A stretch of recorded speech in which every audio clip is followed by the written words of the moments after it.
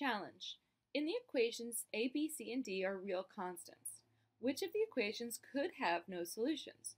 Select all that apply. All right, so let's solve the first one. Uh, so we have ax squared minus bx equals 0. And if we factor out an x, we get ax minus b. Therefore, the zeros here would be either 0 or ax minus b equals 0, which would be ax equals b. So x would be b over a. So we have 0 or b over a. So we have two solutions here. So it's not a. I'm going to erase this work to move on. b here, all right, we have ax squared plus bx equals 0. So we factor out an x, we get ax plus b equals 0. So we have either x equals 0 or ax plus b equals 0. And that would be ax equals negative b, so x equals negative b over a. So that's also two solutions, so it's not going to be b. All right, next we'll move on to c. Well, c is just the standard form.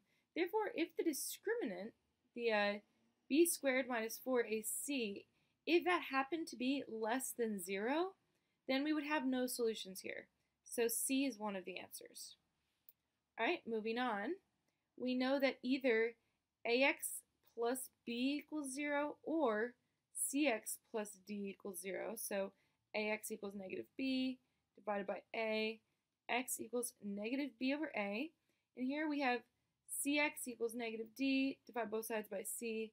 X equals negative D over C. These are both real solutions, two of them, so it's not D. Finally, we have this one. So that is a times bx plus c squared equals d.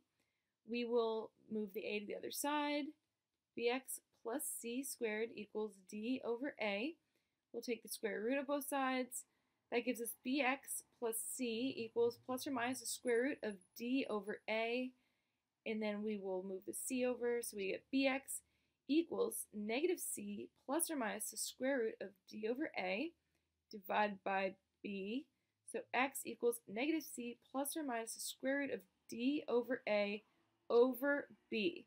Now this could have no solutions if what's under here is less than 0. And that would be the case if a was, you know, 0 or uh, if d was less than 0 and a was above 0, or if a was less than 0 and d is above 0. There's several ways where this would not have any solutions, therefore E is the other answer. So the answers are C and E.